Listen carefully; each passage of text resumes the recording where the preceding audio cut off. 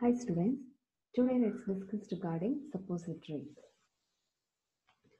Suppository means it is a cone-shaped or bullet-shaped medication which is gelatin or glycerin-based solid at room temperature and melts at body temperature.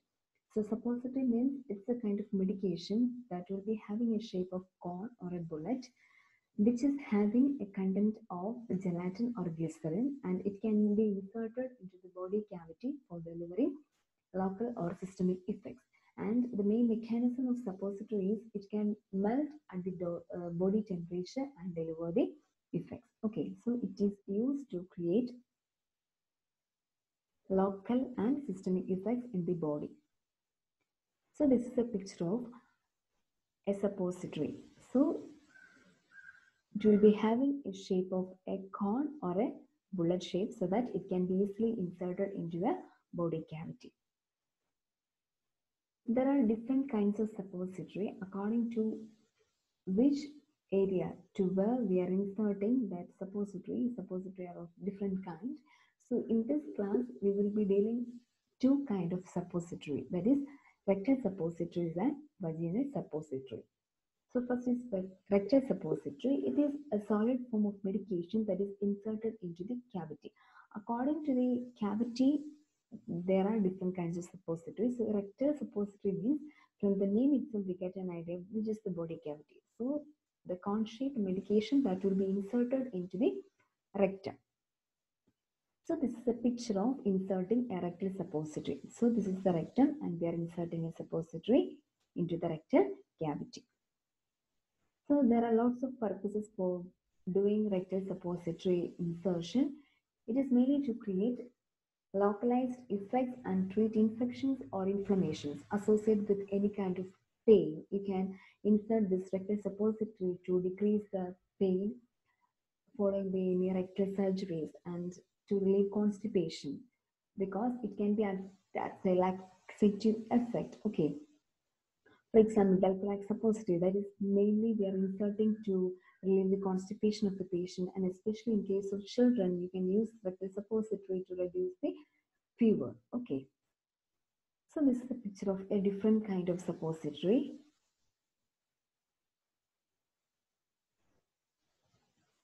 So this is an acetaminophen suppository to decrease or to reduce the pain as well as it's a bisacodyl suppository or suppository or Dulcolax suppository to reduce or relieve the constipation.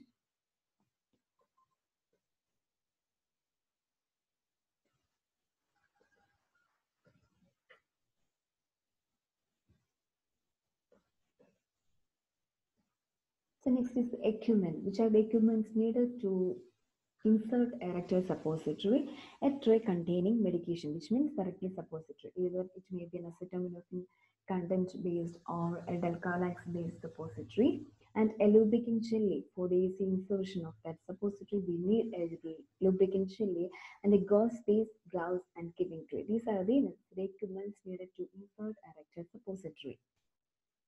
Next is the procedure. First is review the medication orders and confirm the identification of the patient and gather equipment. Before going to do any kind of procedure, we should review the medication order. It is mainly to confirm that we has we have taken the correct amount of medications and correct the right drug and for the right patient. It is mainly to reduce the error during the medication administration and rate the patient exposing only the anal area because we are going to insert the rectal suppositories in the rectal cavity so that we should make sure that the needed part of the body is adequately exposed and to reduce or prevent the unnecessary, unnecessary exposure of the body parts. Then provide sideline or Sims position with upper leg flexed upward. That is the proper position for delivering the rectal suppository is merely to facilitate proper insertion of that suppository. In this position, we can directly or we can safely introduce this medication into the rectal cavity. So this is the position of Sims position and through that we can insert the medication correctly. Then after arranging all the equipment for this procedure, we can wash our hands and wear the gloves. To prevent the cross infection and to maintain a stability during the procedure or else it can cause severe infections. Okay, then lubricate both the index finger of the dominant hand with the suppository. It will help to reduce the friction and facilitate the easy insertion of that drug. So after uh, wearing the gloves, we should lubricate our index finger. So index finger is mainly used to insert the suppository so that it should be lubricated to prevent or to reduce the friction. Then educate the patient to take deep breath and relax the sphincter so that it can be inserted very easily. It, it can reduce the obstructions while inserting this medication. Okay, it causes difficulties while inserting the suppository. It can reduce the difficulty. Then retract the patient buttocks and gently insert suppository with gloved index finger. While retracting the buttocks, we can get an easy access to insert this like suppository. After insertion of the suppository, wipe off patient's end area or else it can cause some kind of soiling. Then ask the patient to remain in supine position or else what will happen? Rectal suppository can come out accidentally. So to prevent that, uh, to prevent that accidental expulsion of that suppository, you should educate or you should tell the patient to remain in supine position for at least 5 or 10 minutes. Okay. Then provide bedpan or assist patient to reach toilet because within the uh, first half an hour, if, if you are providing this suppository to relieve the constipation, patient may feel a tendency to defecate. So we should provide a bedpan or ask the patient to reach the toilet. If laxative actions are caused by these suppositories, uh, example, if you are administering a Velcro suppository, then remove gloves, dispose of all the articles used and wash the hands. It is mainly to prevent the cross infection and document the procedure, provide comfortable position to the patient after that procedure. In the documentation, we should report that what kind of suppository that we have used and whether the patient has and uh, pass the stool or not. Okay, so these points should be mentioned while you are documenting that procedure. So this is the picture of how we are inserting that rectal suppository. So this is the rectal suppository and it should be inserted only with a gloved hand or else it can cause contamination. Okay, then with the non-dominant hand, we should retract the buttocks so that we can get an easy access for inserting that rectal suppository. Okay, this is a picture of how we can insert this suppository for a baby. Because in especially in infants or child we are inserting this rectal suppository to reduce the body temperature. So that we can get acetaminophen or paracetamol content based suppositories are available. Okay. So this is the total picture of the procedure of rectal suppository insertion. Before going to perform the procedure we should make sure that our hands is our hands are clean. So hand washing should be done.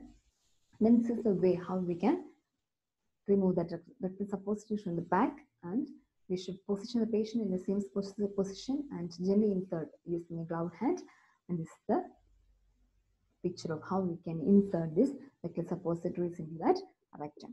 Okay, I hope you got an idea regarding what is suppository and what is rectal suppository. What are the situations in which we are preferring this rectal suppository and the procedure as well as the patient uh, position of the patient that we have to maintain while inserting a rectal suppository. Okay.